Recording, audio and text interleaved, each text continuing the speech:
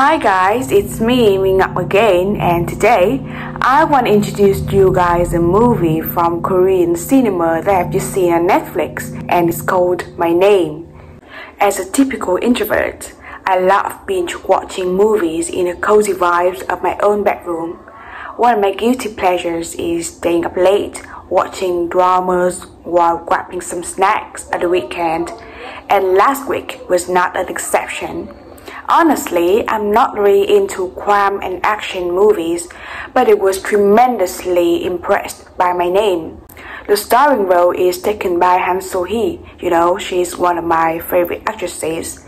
And in the movie, she has played her role successfully as a strong, resilient, and brave woman.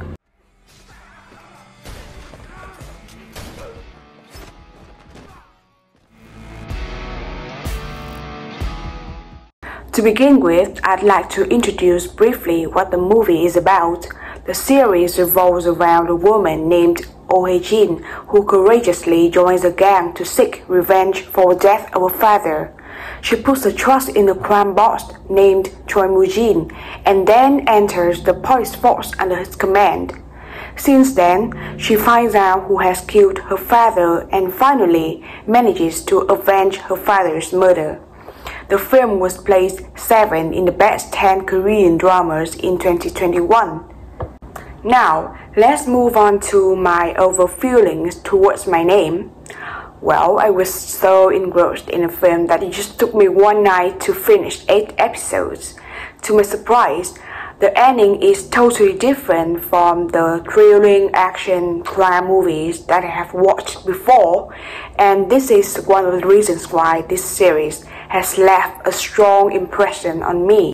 In the movie, it is particularly emotional when Hae-jin loses her lover when their love has just bloomed, and this also contributes greatly to the determination of Hae-jin to kill the murder of her two beloved ones, her father and her true lover. I realize that real love will always be respected, and it's the motivation to push ourselves harder to fulfill our dreams.